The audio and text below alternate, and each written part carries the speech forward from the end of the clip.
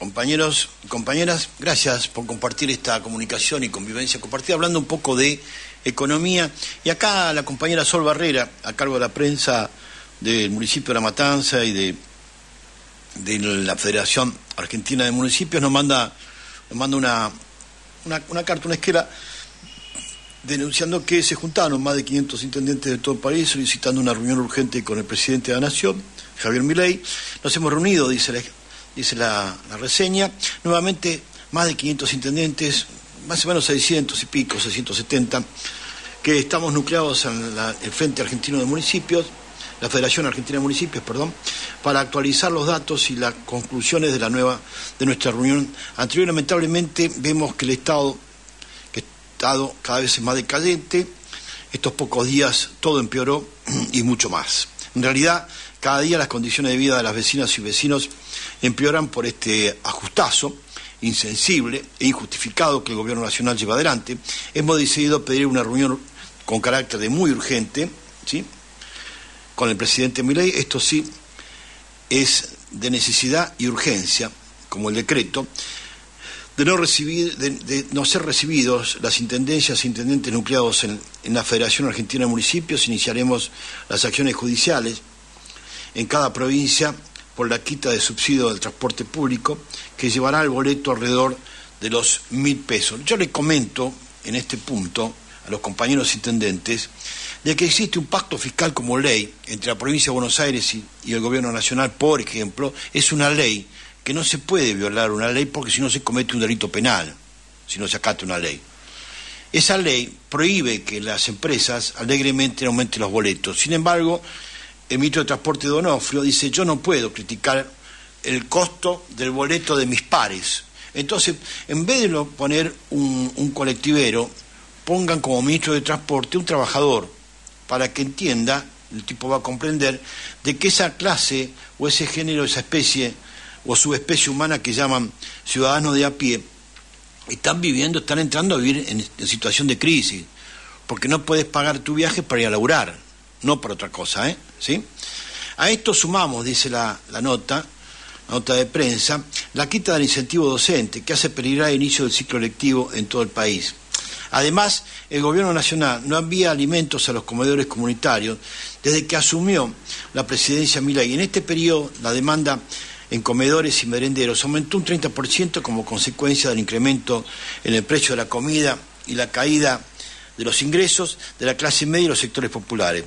Somos los municipios y las provincias quienes estamos abasteciendo esta real necesidad de urgencia. Resulta más que urgente brindar ayuda social directa a los miles de familias que en estos momentos están atravesando situaciones de hambre, carencias básicas, que no son posibles de cubrir sin la ayuda coordinada de Estado Nacional con las provincias y los municipios.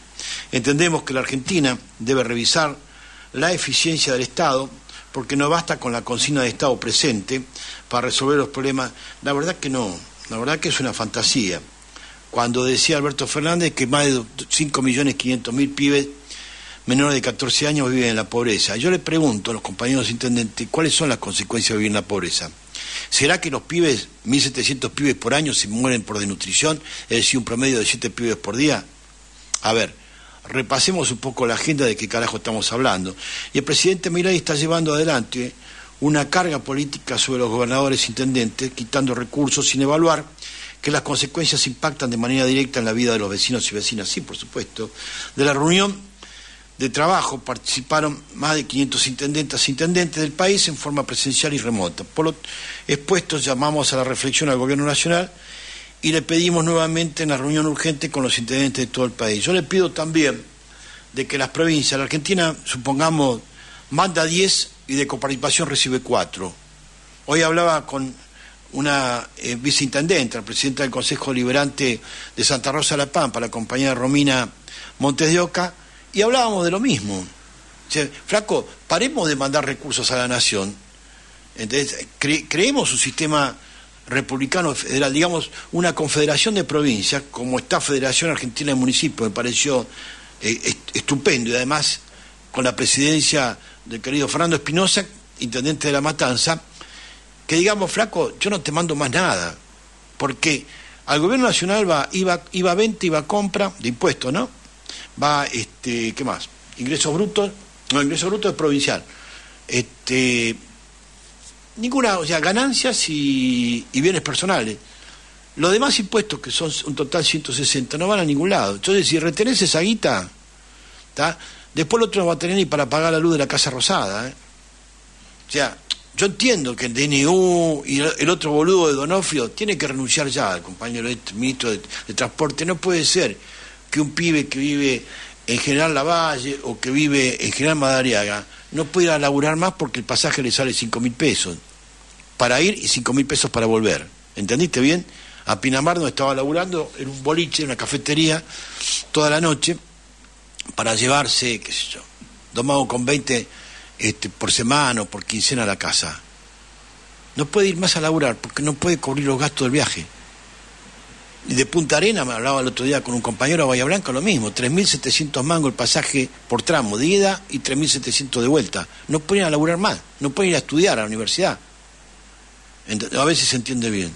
No hace falta carancel, entonces por ahí, por también te privatizan la universidad pública. Ya con esto solamente los pibes no pueden, no pueden ir más a la universidad. ¿eh?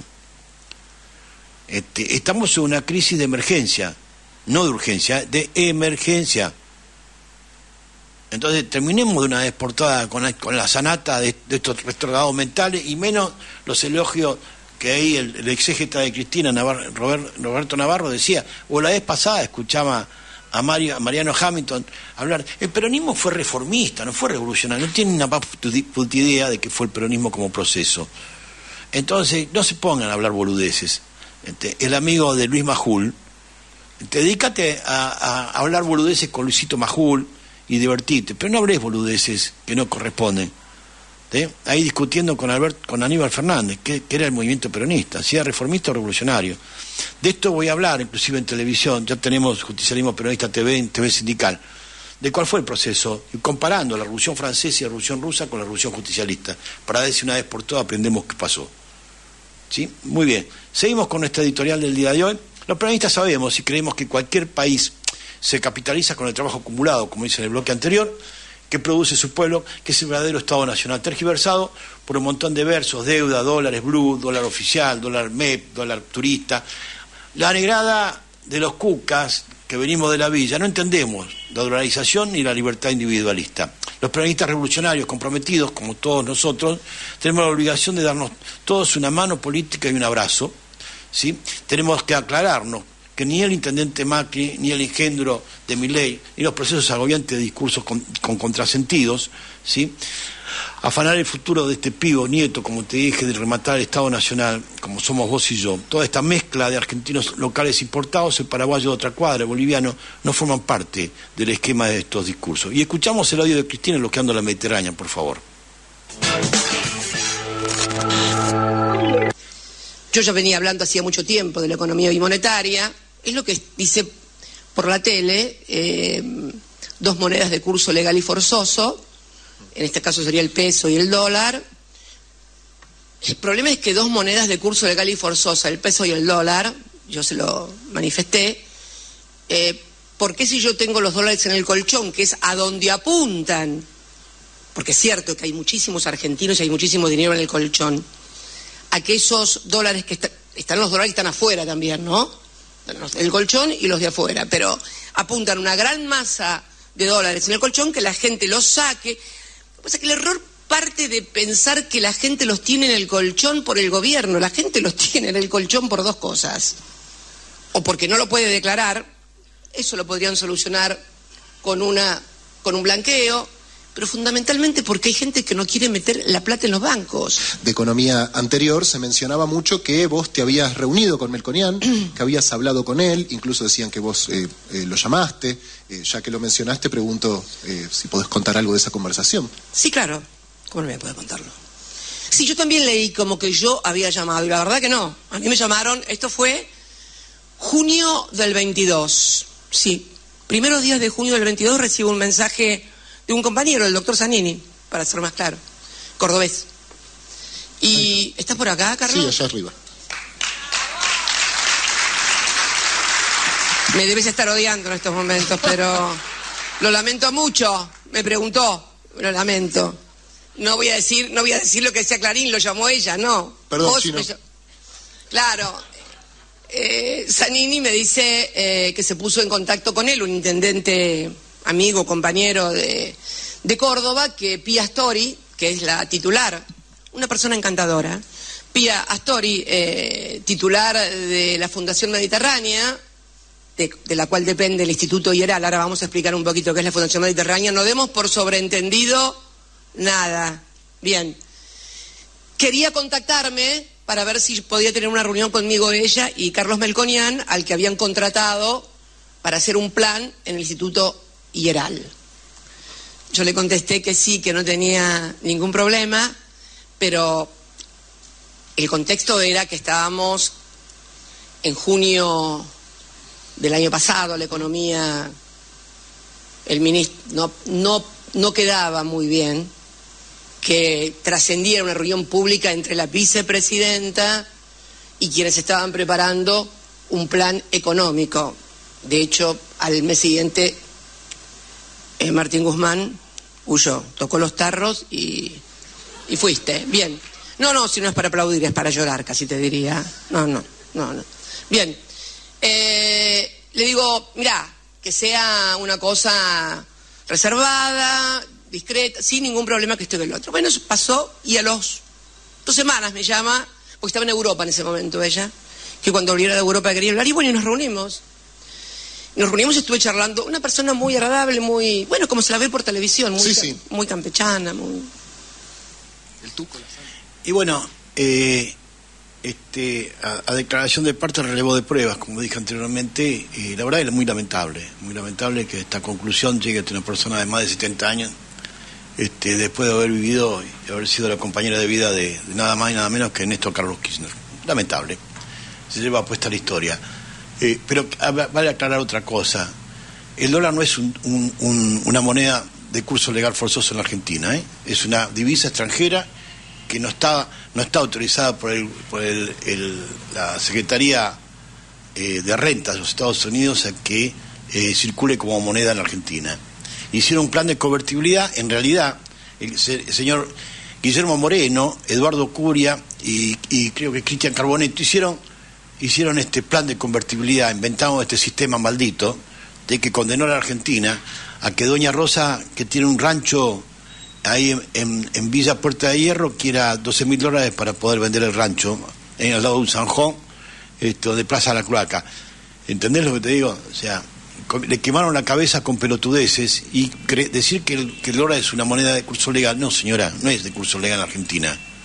Es más, si usted quiere capitalizar al país es con trabajo acumulado, como lo hizo Inglaterra después de la Segunda Guerra Mundial, declararon la inconvertibilidad con el dólar, así como Alemania también declaró la inconvertibilidad con el dólar, porque sin trabajo acumulado la gente se caga de hambre, vamos a hablarlo así en buen romance, y el dólar no es un dólar este, de curso legal en la Argentina, que la gente ahorre y compañía, porque no existe esa fantasía, solamente en el cerebro de de una de un digamos de, unas expresiones con tanta grasitud y tringada que la verdad que no, no tiene ningún sentido cuando realmente lo único que expresa es que se ignora lo que realmente corresponde cuando hablamos de, de divisa extranjera y capital monetario ¿sí? por eso tenemos que darnos una mano no eligiendo a estos buitres porque la justicia social no se entiende no, no lo entiende la burguesía, la, la burguesía progresista millonaria que no tiene precio ni hay que implantarle cuando tocas fondo y tenés que morfar del trueque no tenemos que volver a morfar de trueque cuando tenemos reserva de gas para 200 años y petróleo para 200 años. Y tenés que agarrarte a los palos y los dirigazos con la gorra, con la policía, porque los pibes se mueren de hambre en la villa. ¿eh?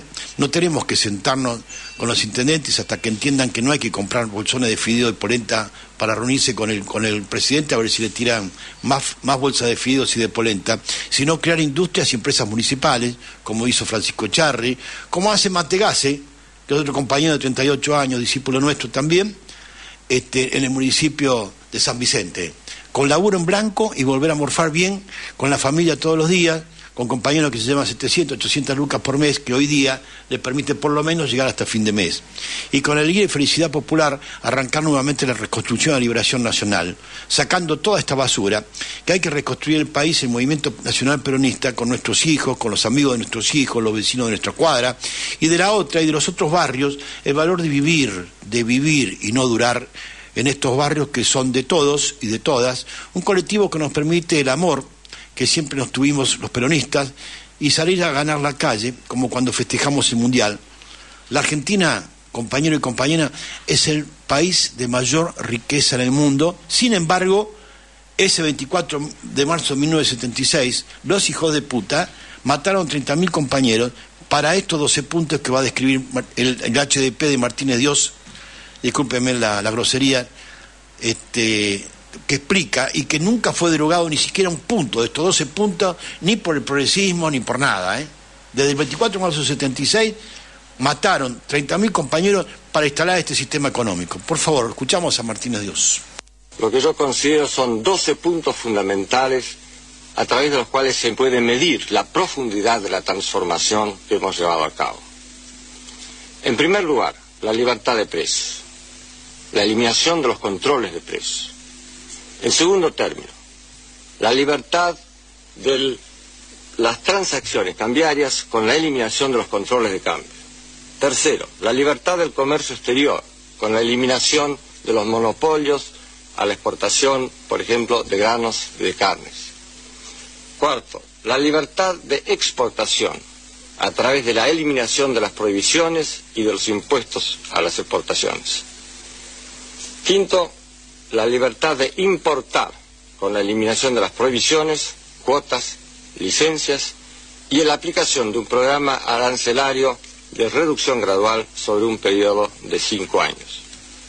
Sexto, la libertad de las tasas de interés y la aplicación de la reforma financiera que abre el sector a la competencia interna y externa.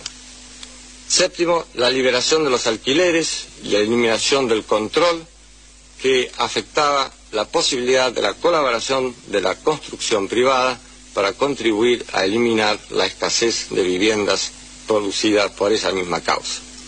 Octavo, la eliminación de las tarifas políticas de los servicios públicos.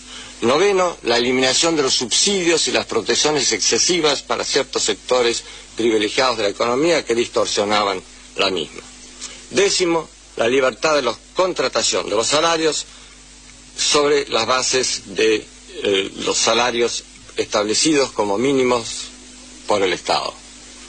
Once, la libertad para las inversiones extranjeras bajo reglas justas y sanas tanto para el interés nacional como para los inversores.